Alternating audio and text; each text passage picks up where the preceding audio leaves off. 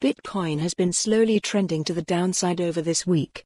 The first cryptocurrency by market cap seems to have lost momentum as uncertainty spills into the crypto market from legacy markets.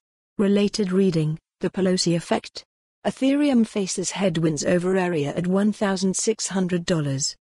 At the time of writing, Bitcoin trades at $22,600 with a 4% loss in the last 24 hours and a 1.2% loss over the past 7 days. The cryptocurrency has lost its 200 days simple moving average, SMA, at $22,800. In the short term, recapturing this level is crucial to maintain the bullish momentum. Bulls need to sustain BTC's price current levels and push beyond its 200 SMA to prevent the cryptocurrency from retesting previous support levels. Analyst Caleb Franzen presented the chart below to show how BTC's price was rejected at a critical level. The cryptocurrency managed to hit the top of the channel shown above and now seems poised to retest the lower level at $21,200. This level should operate as support in order to stop a downside trend below $20,000.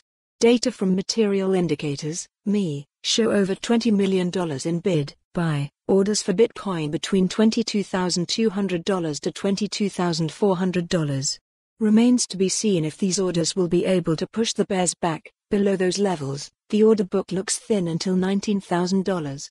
At the time of writing, there are $16 million in buying orders at $19,000, which should act as the final line of defense in case Bitcoin continues to trend to the downside. Franzen said the following Follow the URL for the full article for more on this story, visit the news article link.